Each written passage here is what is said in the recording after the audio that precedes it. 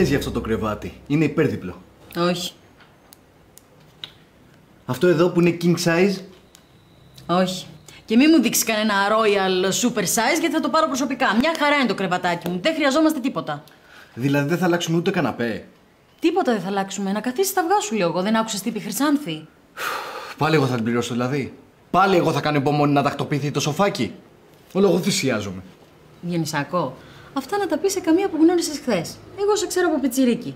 Μια ζωή η μάνα σου εσένα είχε χαϊδεμένο και το σοφάκι ερχόταν δεύτερο και κατεδρωμένο σε όλα. Τσιγάρι εκεί, αφού θα παντρευτεί και θα φύγει. Εξάλλου είναι μαθημένη στο να κάνει υπομονή. Λίγη ακόμα τι πειράζει. Καλά δεν τρέπεσαι λίγο.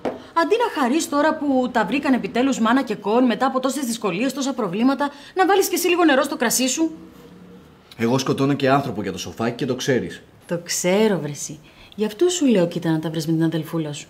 Εγώ εδώ είμαι, δεν φεύγω. Τόσα χρόνια σε περίμενα. Έχουμε εμείς καιρό για καναπέδες, κρεβάτια. Τώρα είπες σωστή κουβέντα. Τι, να τα βρεις με την αδελφούλα σου; Όχι, Τι που σε περίμενα τόσα χρόνια; όχι, αυτό το αξίζω. Ε, τότε ποια ήταν η σωστή κουβέντα που είπα; Καναπέδες κρεβάτια. Αυτό θα γράψει στην αναζήτηση. Μπράβο το μωρό, μόνο τα ξέρει. Μουα. Α,